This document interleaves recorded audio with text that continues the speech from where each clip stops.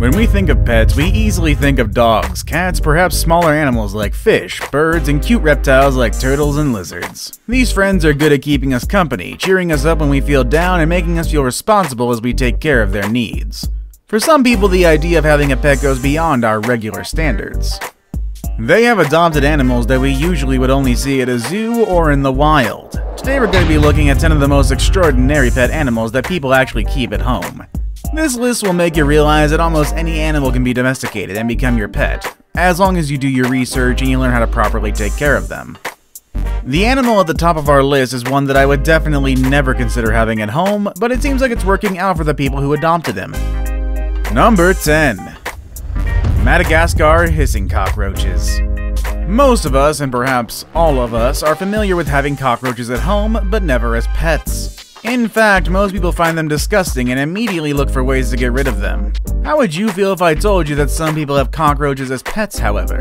And not just any cockroaches, but the Madagascar hissing cockroaches. Yeah, let me repeat that hissing. That's right, these small insect pets have proven to be great company for some people. And one of the things that makes them different from other cockroaches is their hissing, which comes from their breathing. The reason why they're considered good pets is because they are very easy to care for. They're not a threat to humans and they don't reproduce in alarming numbers like the regular cockroaches do. They're not a pest, and best of all, they don't have wings. These hissing cockroaches can be very fun to watch, and you don't need to spend lots of money to take care of them. I suppose it couldn't hurt to try having one as a pet every now and then. Number 9.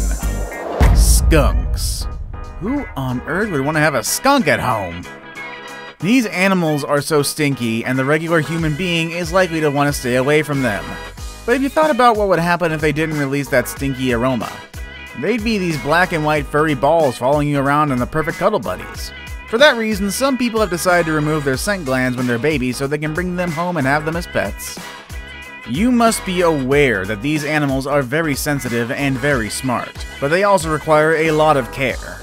For that reason, many countries in the world have put some law restrictions for people who want to take one home. If you want to take a skunk home, you better be ready and eager to do some extra work. They're rare pets, but they are worth having. Number 8. Red Foxes. It only takes a few Google searches and some hashtag pet fox searches on Instagram to learn about people around the world who keep foxes as pets. Despite all the controversy and multiple sources calling out people to not adopt such creatures, foxes have proven to be funny, cute, and friendly pets. They are also some of the most expensive pets out there. The reason for this is because domesticated foxes come all the way from Siberia, which is also the place where a geneticist started experimenting back in 1959 in order to breed some home friendly foxes. Half a century later, we are able to bring these foxes to our home, as long as we have $8,000 and all the necessary permits from our government. It's not easy or cheap to get a pet fox, but it's not impossible. Number 7. Hedgehogs. If you like video games, you probably heard about this next animal when you played Sonic the Hedgehog, the popular action-adventure video game. But what probably hasn't crossed your mind yet is that it might be possible for you to have a real hedgehog at home. If you're up for the challenge, at least. The thing is, it doesn't matter how cute, a hedgehog usually keeps us humans at a decent distance as we don't want to be poked by its needles. But some people have given Hedgehog a chance to become their pet and they've come to realize they can be quite friendly companions. Some of their odd habits include rubbing themselves against odd smells and being active at nighttime. Hedgehogs are also good alternatives to people who are allergic to cats and dogs.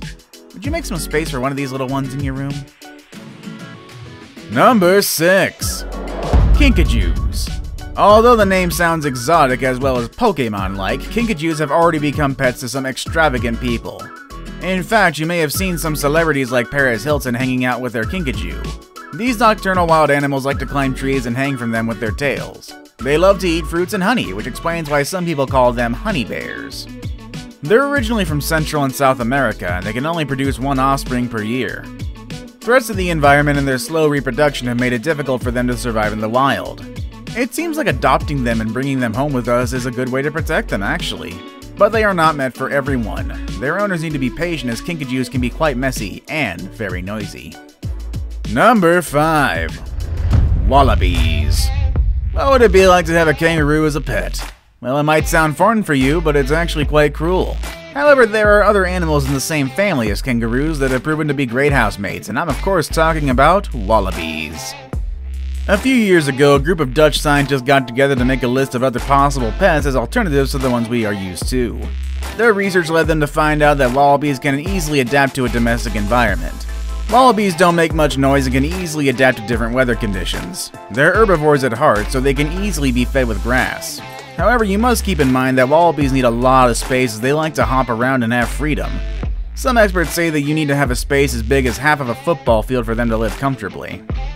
Also, some breeders won't let you adopt just one wallaby as they consider having them isolated from their peers is quite cruel. So if you want to adopt a wallaby, better consider having two.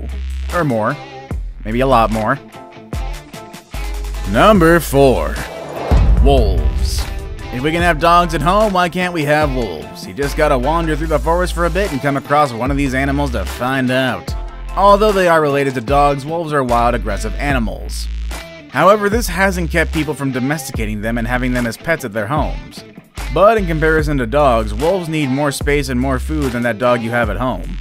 Wolves can eat up to 5 pounds of meat on a daily basis along with skin, bones, and fur. And once they start eating, you better stay away from their food. They do not like to share it and they start showing strange behaviors if they don't have contact with other wolves. There are some wolves that have been trained to help people in their everyday tasks, and they can follow instructions, although they prefer hand gestures over voice commands, and they easily get tired of routine.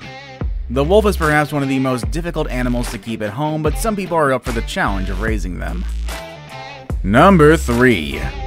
Serval Cats you're a cat person, this one might grab your attention and make you want to own one. But beware, the serval cats are not like any of those cats you have at home, or even like those stray cats that visit your backyard every now and then. Serval cats are wild exotic animals at heart, even if you do manage to bring one of them home. Having these cats as pets actually dates back to earlier times in history, when people would give them as luxurious gifts or trade objects in ancient Egypt. You can even find the depictions in some ancient art, Having a serval cat is still quite a luxury as their care entails having the proper space for them to play and be free. You pretty much need to build a little zoo for them to run, hunt, and even do some climbing. Some serval cat owners have shared stories of how their feline friend escaped due to not having the proper facility for them. They then found them days later. Imagine the stress this must have caused. They won't eat the same packaged food as your home cat does, but instead they'll want a variety of meats like it's done in the wild. It seems like you can take the serval cats out of the wild, but you can't take the wild out of them. Now it's time for the day's best pick. Today I have this picture of a man and a hyena. It seems like the man has managed to tame the animal, but the hyena doesn't seem too happy about that. If this is all the effort it would take to domesticate a beast like that, I'd rather let them alone, living in the wild. After all, some animals just can't be domesticated. But there is a man who has managed to play and pet some hyenas. His name is Kevin Richardson, and it seems like the hyenas really treat him as if he's part of their family. It took him more than 15 years to get to that point, but they didn't make it to this list as they're not necessarily living with Kevin in the same house, but instead he goes out into the wild to play with them. However, my top picks for the day are very wild and they do live with their humans. Number 2 Crocodiles. Some people adopt lizards, some others do bearded dragons, and some choose a bit more exotic options such as the chameleon. But there are also a few people who took to raising reptiles to the next level and decided to adopt crocodiles. Yes, indeedy, crocodiles can indeed be pets. One of the most famous examples is of a man of Costa Rica who rescued a dying crocodile at a river. This man, who's best known as Chito, took Pocho the crocodile to his home and raised him as a pet. Chito tried to bring Pocho back to the wild, but Pocho decided to stay with his new friend. They would even go for swims together, and Pocho would always reply every time Chito called his name. Pocho died of natural causes, but Chito learned through this experience that a crocodile can be tamed. In fact, he's actually training a second crocodile whom he calls Pocho 2. This will show whether his bond with the original Pocho was once in a lifetime or the bond with more crocodiles can actually exist. I saved the best for last, but first, I have a quick challenge that takes only 5 seconds to complete. If you can leave a like and subscribe within the next 5 seconds, you'll get 10 years of amazing luck. Just try it, it really works. Number 1 Big Cats Lions, tigers, and other wild big cats are not the kind of cat you'd expect to see in someone's backyard. Although there are a few laws and regulations that keep people from trading them internationally as pets, it is quite possible in some places to get these animals from a local breeder. But just because it's possible to get one, it doesn't mean you should. Having a lion or a tiger at home is a very demanding task. They're gonna have a hard time understanding boundaries and will probably pee wherever they feel like it. Get in their way, you might experience some unwanted aggression. Regardless of these challenges, some people have given it a try and made a space in their homes for their loved big cats. And some have more than just one, actually. The crazy cat lady in your neighborhood doesn't compare to a man in Florida with six tigers, two lions, and a leopard. But some owners have also become victims of their pets as they attack in the least expected moment. I guess that's what happens when you bring wild animals home. What do you think of these pets? Would you ever consider adopting one of these animals?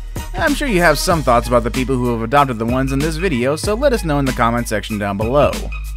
With all that said and done, I hope you all have a good day, and I will see you all next time. Later, everybody.